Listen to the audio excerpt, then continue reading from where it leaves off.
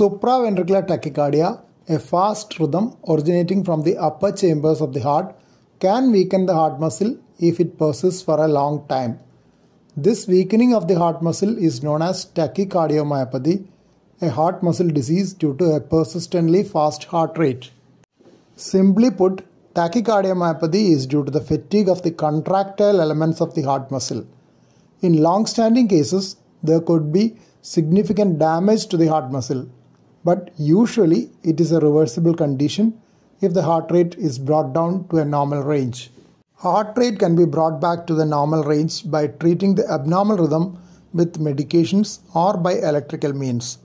In electrical therapy known as radiofrequency catheter ablation, small electrodes are introduced into the heart through arteries or veins and the origin of the abnormal rhythm localized by an electrophysiological study.